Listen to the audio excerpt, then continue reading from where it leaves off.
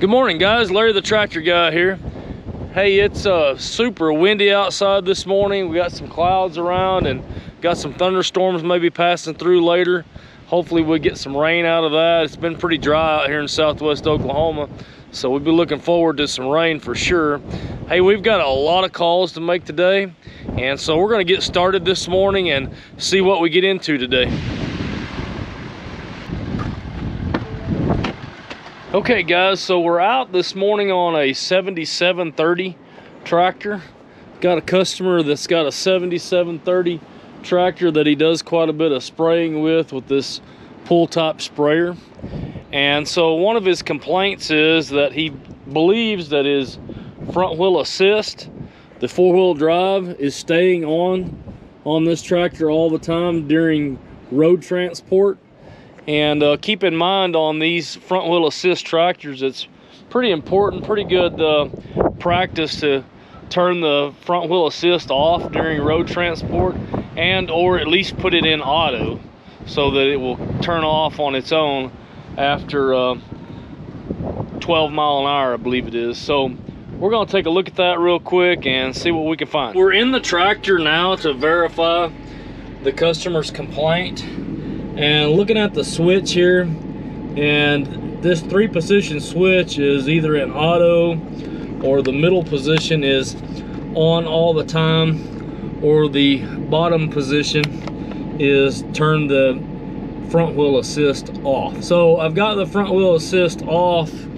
now and then if I look up in my corner post display the icon or the display on the corner post is showing that the MFWD clutch is turned on. Okay, even when I have the switch turned off. So I cycled that a few times on and off and on and off and it continues to stay on. Okay, so it looks like his four-wheel drive is staying on all the time just like he said. So we're gonna do a little diagnosing here and see what we can find. Looked into the tractor side through the side console display and looked up codes and we found a CCU 524 235.05 code that's active. We went ahead and cleared that code and then started the tractor up and cycled the front wheel assist switch to turn the four-wheel drive on and off and then we generated this same code again CCU 524 235.05. We've got that code pulled up in Service Advisor here, and it looks like that that code is caused by the chassis control unit. The CCU detects that the MFWD solenoid current sensed is too low, while CCU driver being commanded on. Okay, to disengage the MFWD clutch. Okay, so keep in mind on these MFWD clutch, front wheel assist, four wheel drive clutch is spring engaged and hydraulically disengaged. And so the solenoid is actually turned on to disengage the MFWD clutch. So there's several things that have to happen with that. Obviously we have to have oil pressure there to disengage the MFWD clutch, but I don't think we're fighting a oil pressure problem, a uh, system pressure problem. I think that we're looking at an electrical problem and or maybe a solenoid failure. So it looks like there's about six diagnostic steps to run through here. We worked down through Service Advisor step and got to step number five, okay, and it led us to uh, check the CCU MFWD solenoid circuit test. And first plan of action is to disconnect the MFWD solenoid connector. So real quick, I'm going to crawl underneath the tractor and we're gonna take a look at that connector and see if possibly the connector may be unplugged and or if we have a wiring problem. And what I've seen a lot of times on these type of, of circuit problems is uh, if, these guys are using these tractors in um, fields where there's cotton stalks and or wheat stubble sometimes uh, can kind of run underneath the tractor and sometimes damage those wires going to different sensors and solenoids and such. So we're going to take a look at that and uh, see what we can find. We're down here in, we're down here in Southwest Oklahoma and we're pretty close to the mountains. If you can see the mountains in the background. And uh, man, this is this is rattlesnake territory for sure out here. And I've seen a lot of rattlesnakes in the past out here in this area. And so I'm really like walking around this tractor and looking underneath the tractor, making sure that I don't have a rattlesnake anywhere close by before I crawl underneath this tractor. So uh, keep that in mind if you're ever crawling around underneath equipment or tractors, and especially in the hayfield down here in southwest Oklahoma, you want to keep your eyes open for these rattlesnakes. So we're underneath the 7730 tractor looking at the MFWD clutch housing here. Okay, and then back on the back side here is our MFWD four-wheel drive solenoid that turns the oil pressure on and off to our clutch assembly inside of the clutch housing here. Okay, and here is our wiring harness and our connector. And so I peeled the insulation off of the wiring harness here. And if you can kind of see that, the insulation on the wires is completely gone. And so the wires were pretty much shorted out together. Okay, and so I'm pretty sure that's probably what was generating our code. Okay, and so I'm, I'm gonna kind of separate those wires where they're not making contact and then get up in the tractor and turn my switch on and off and see if that eliminates my code and see if the MFWD clutch will work like it's supposed to now. And then if it does, we'll go ahead and run a quick ohms test on our solenoid to make sure that it's okay and then we'll repair our harness. Back in the tractor now, we went ahead and cleared our code out through the side console display and we went ahead and operated our MFWD switch on and off and we were kind of watching that in the corner post display there if you can see. And it is turning the icon on the display on and off like it's supposed to. So I'm pretty sure that was our problem was that that wiring harness and those two wires uh, shorting together and basically not operating that front wheel assist or MFWD on and off solenoid properly. I've got my meter hooked up now, my voltmeter, and I'm running a quick ohms test. If you can see my meter there is showing right at about 10.7 ohms of resistance. Okay, and the spec for that, by the way, is 10 to 14 according to Service Advisor. And that's mostly consistent on most coils. And so we're basically just checking the res resistance across that coil, okay?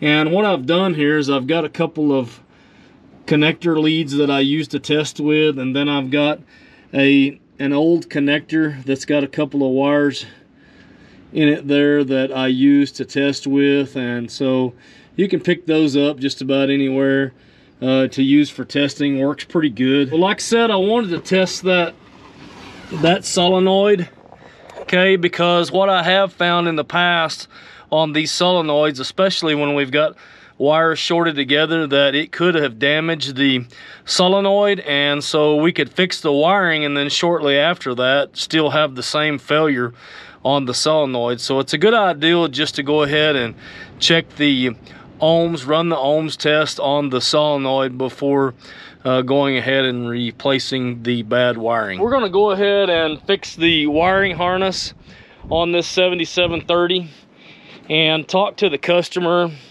and he wants us to go ahead and build him a short harness to plug into that that solenoid okay and so I was taking a quick look at Service Advisor on the schematic here, and it looks like um, on the schematic, it looks like those two wires that run to that solenoid are kind of built into that backbone harness, so to speak.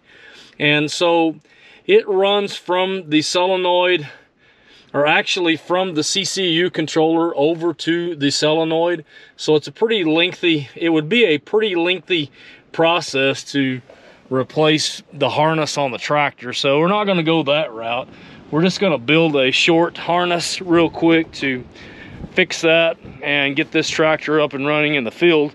And I'll show you what I'm doing here. So I've got a various terminals and so I found a couple of terminals that will work good for that solenoid and then I've also found a connector housing here that will work really good it's a little bit different but it locks in the same way and it'll plug in and seal off really good and so I've got a couple of pieces of wire here that that I went ahead and pre-cut keep in mind when you're doing this okay that it does matter which wire goes to which wire. On a lot of these solenoids, it matters. And so we've got to follow that schematic and try to make sure that we get the right wire in the right terminal of the, or the right cavity of the connector, okay?